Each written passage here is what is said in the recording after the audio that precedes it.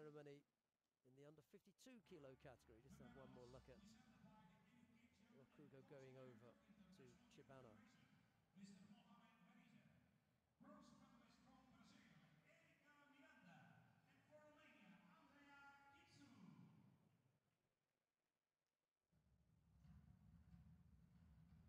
Bronze medals